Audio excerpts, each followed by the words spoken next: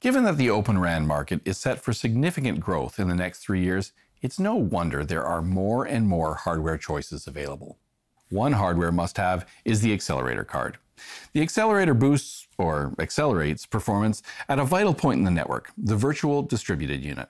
The accelerator achieves this by taking up part of the processing load from the CPU. Here's why that matters. CPU resources are more expensive and consume more energy. Therefore, it makes sense to offload as much processing as possible from the CPU to the accelerator. I'm Rob Hughes, Head of Wireless Marketing, here for an open dialogue about choosing the right Open RAN accelerator architecture.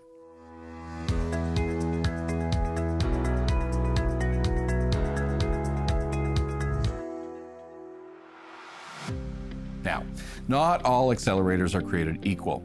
There are two types on the market, inline and look-aside. You're probably wondering, what's the difference and which is better? Well, both types elevate DU performance, but they differ in what types of layer 1 processing they handle. This includes critical processes like modulation, equalizing, and beam weighting. Look-aside accelerators only relieve the CPU of forward error correction tasks, while the CPU acts as the master controller for layer 1 processing and continues to perform most layer 1 tasks. By contrast, inline accelerators intercept and process almost all of the layer 1 data before it reaches the CPU.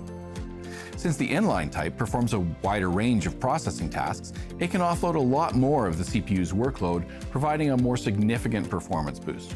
In addition, inline accelerators allow mobile network operators to scale the compute resources used for layer 1 processing independently from those used for layer 2 and 3 processing, which results in a more optimal use of computing resources. So, what's the benefit of a look-aside accelerator in comparison to an inline accelerator? If you're working with small, low-traffic sites, look-aside accelerators may offer some advantages, such as lower power consumption. Few vendors offer these accelerators, and some are supplied packaged together with the CPU. This kind of all-in-one solution might prove beneficial in terms of simplifying installation or inventory management. By contrast, inline accelerators are available from a wide range of vendors, and they offer greater flexibility and faster innovation because of that. For medium and high capacity sites, inline accelerators also offer other clear advantages.